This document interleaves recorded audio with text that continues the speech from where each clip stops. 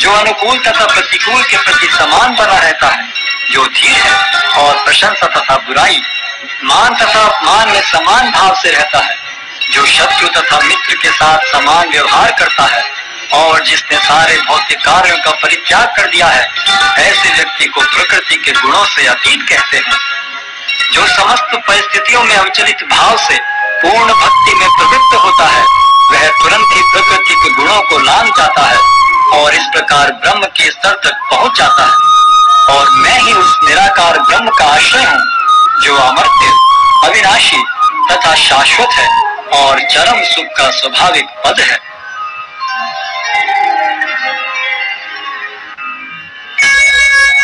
अध्याय पंद्रह, पुरुषोत्तम योग। भगवान ने कहा कहा जाता है कि एक शाश्वत अश्वत्थ वृक्ष है। जिसकी जड़ें तो ऊपर की ओर हैं और शाखाएँ नीचे की ओर, तथा पत्तियाँ वैदिक स्तोत्र हैं। जो इस वृक्ष को जानता है, वह वेदों का ज्ञाता है। इस वृक्ष की शाखाएँ ऊपर तथा नीचे फैली हुई हैं और प्रकृति के तीन गुणों द्वारा पोषित हैं। इसकी टहनिया इंद्रिय विषय हैं। इस वृक्ष की जड़ें नीचे की ओर भी जाती हैं, जो मानव समाज के सकाम कर्मों से बंधी हुई हैं। इस वृक्ष के वास्तविक स्वरूप का अनुभव इस जगत में नहीं किया जा सकता। कोई भी नहीं समझ सकता कि इसका आदि कहाँ है, अंत कहाँ है, या इसका आधार कहाँ है। लेकिन मनुष्य को चाहिए कि इस दृढ़ मूल वाले वृक्ष को विरक्ति के शस्त्र से काट गिराए।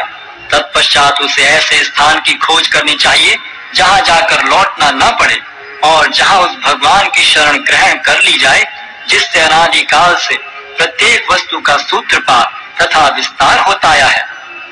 जो झूठी प्रतिष्ठा, मोह तथा कुसंगति से मुक्त है, जो शाश्वत तत्व को समझते हैं, जिन्होंने भौतिक काम को नष्ट कर दिया है, जो सुख तथा दुख के द्वंद से मुक्त हैं, और जो मोहरहित होकर परम पुरुष के शरणागत होना जानते हैं, वे उस शाश्वत राज्य को प्राप्त होते हैं।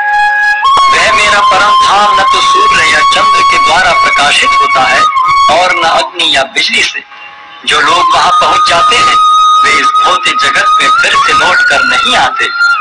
इस बद्ध जगत में सारे जीव मेरे शाश्वत अंश हैं। बद्ध जीवन के कारण वे छह इंद्रियों से घोर संघर्ष कर रहे हैं, जिनमें मन भी सम्मिलित है।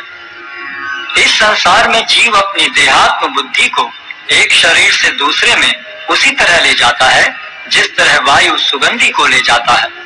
इस प्रकार वह एक शरीर धारण करता है और फिर इसे त्याग कर दूसरा शरीर धारण करता है इस प्रकार दूसरा स्थूल शरीर धारण करके जीव, विशेष प्रकार का कान, आँख, जीव, नाक तथा स्पर्श इंद्रिय प्राप्त करता है, जो मन के चारों ओर संपुंजित हैं। इस प्रकार वह इंद्रिय विषयों के एक विशिष्ट समुच्चय का भोग करता है मूर्ख न तो समझ पाते हैं कि जीव किस प्रकार अपना शरीर त्याग कर सकता है न ही वे यह समझ पाते हैं कि प्रकृति के गुणों के अधीन वह किस तरह के शरीर का भोग करता है। लेकिन जिसकी आँखें ज्ञान में प्रशिक्षित होती हैं, वह यह सब देख सकता है। आत्म साक्षात्कार को प्राप्त प्रयत्नशील योगी जन यह सब स्पष्ट रूप से देख सकते हैं लेकिन जिनके मन विकसित नहीं है और जो आत्म साक्षात्कार को प्राप्त नहीं है वे प्रयत्न करके भी यह नहीं देख पाते कि क्या हो रहा है। सूर्य का तेज जो सारे विश्व के अंधकार को दूर करता है, मुझसे ही निकलता है। चंद्रमा तथा अग्नि के तेज भी मुझसे उत्पन्न है। मैं प्रत्येक लोक में प्रवेश करता हूँ और मेरी शक्ति से सारे लोग अपनी कक्षा में स्थिर रहते हैं। मैं चंद्रमा बनकर समस्त वनस्पतियों को जीवन रस प्रदान करता हूँ। मैं समस्त जीवों के शरीरों में पाचन अग्नि हूँ और मैं श्वास प्रश्वास में रहकर चार प्रकार के अन्नों को पचाता हूँ। मैं प्रत्येक जीव के हृदय में आसीन हूँ और मुझसे ही स्मृति, ज्ञान तथा विस्मृति होती है।